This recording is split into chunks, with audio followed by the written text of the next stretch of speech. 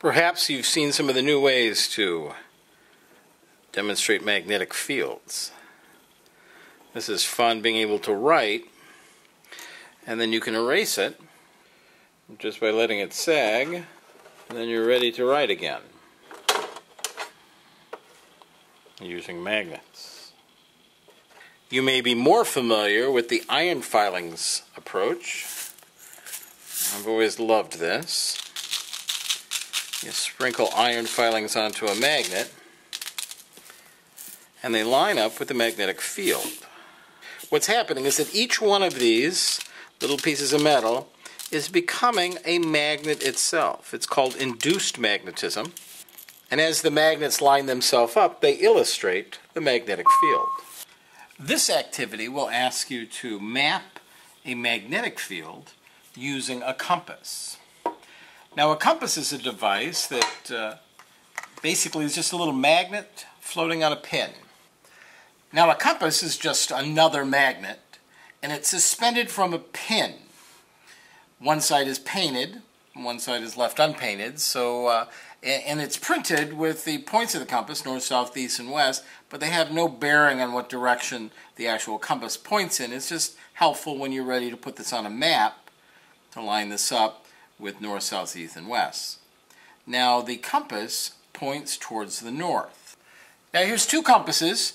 It's clear to see that they're both pointing in the same direction, but one of them, uh, the painted side is pointing north, in this case, the silver side is pointing north.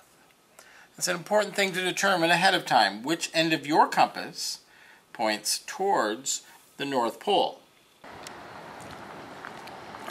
Compass points north because of the Earth's magnetic field. This particular compass, the red end of it, the painted end, is pointing north. This particular compass, the silver end, the unpainted end, is pointed north. Two compasses from the same factory. One of them the painted end pointing north, the other one the unpainted end pointing north. Now as it turns out, if the Earth were a large magnet, so here's the Earth, here's the North Pole, here's the South Pole, here's where Santa Claus lives, and that helps you remember that if the Earth was a giant magnet, then what we locate at what we call the North Pole is actually the south end of the magnet, leaving the north end of the magnet to be down in Antarctica, where the penguins are. No penguins up here. Polar bears up here. Slow-moving penguins down here. Fast-moving polar bears. They would eat all the penguins, but they're kept separated by the entire planet. So the penguins are safe. Polar bears going hungry. So what we have here is a compass that points towards the Earth's north pole, but it's pointing towards the south side of a magnet. So now I know that the red on this compass points towards the south side of a magnet. Here we have a magnet, and the red part is pointing towards the south side of the magnet. So this must be the north side of my magnet. Now not to frighten you, but if you turn it over, it does have an S printed on it. Don't trust this. These magnets can be reversed. If they uh, dropped, they lose their magnetic ability. We have a little induction um, device that will remagnetize them and sometimes never magnetize quite right. So this, trust me, is pointing away from it. The magnetic field is always going to be mapped so it points towards the south. So the magnetic field mapped from this point would be away from this point. So here's how you use the compass for plotting a magnetic field. You start with a point. You put the compass so that one end is right on that point. Then you put a mark at the other end of the compass.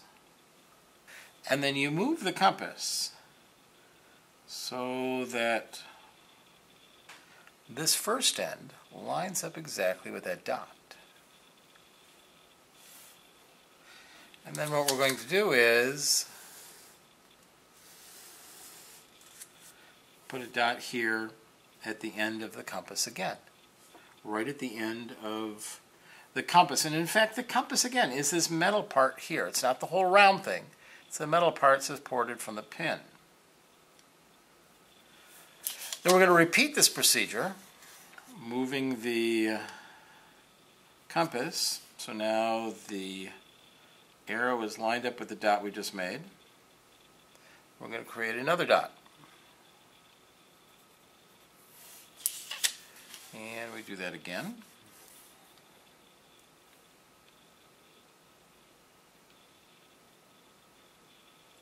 Be very careful. And then we can continue this and see where it goes. In this case, it's going right off my paper. So here's a line of magnetic force. Now we have to put an arrow on it. And the arrow always goes away from north and towards south. So I'm going to put an arrow over here. We've drawn a line of magnetic force. Let's pick another one to do real quickly. I'm going to pick a one that starts right here.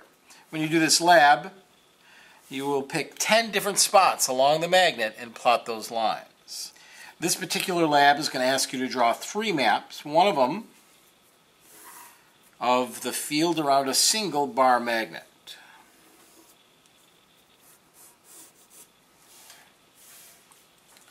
Red indicates the south side of the magnet, so that would be this end of the magnet would be the south side.